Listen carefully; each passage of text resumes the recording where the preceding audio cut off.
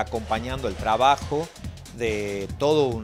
los equipos, las áreas de la universidad para llevar adelante acciones concretas, cotidianas, que permitan fortalecer una red de trabajo interna, pero que nos involucre a los cuatro estamentos para cuidar la UNLAR, que es nuestra casa.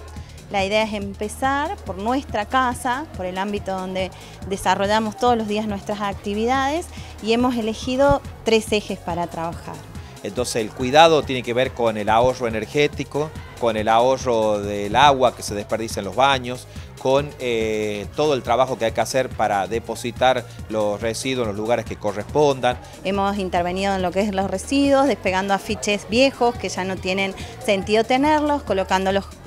afiches de la campaña. Hemos intervenido en los baños y eh, por último acá en el Colegio San Martín también invitando a los chicos a que se sumen. El rol que tienen los trabajadores es muy importante, en principio porque son los encargados de la custodia de la institución, es nuestra, nuestra tarea en distintos lugares. Entendemos que es indispensable también concientizar al resto de los estamentos en esta situación y, e ir enfrentando esa eh, desidia que hay con los organismos estatales, que parece que al ser de todos no son de nadie, y todo lo contrario, son de todos, independientemente de todo el trabajo que se hace para el mantenimiento, no alcanza, no alcanzaría un batallón de compañeros más para enfrentar la desidia que se puede, que se ve, que se ve en muchos lugares. Entonces sí entendemos que este programa es muy importante. Nos parece fundamental. Eh, ya tuvimos la experiencia, nosotros como comentaban algunas de las agrupaciones, en la época de la toma, la universidad, los módulos brillaban, los baños eran cuidados por nuestros estudiantes, una lógica que se ha ido perdiendo a lo largo de estos años y que necesitamos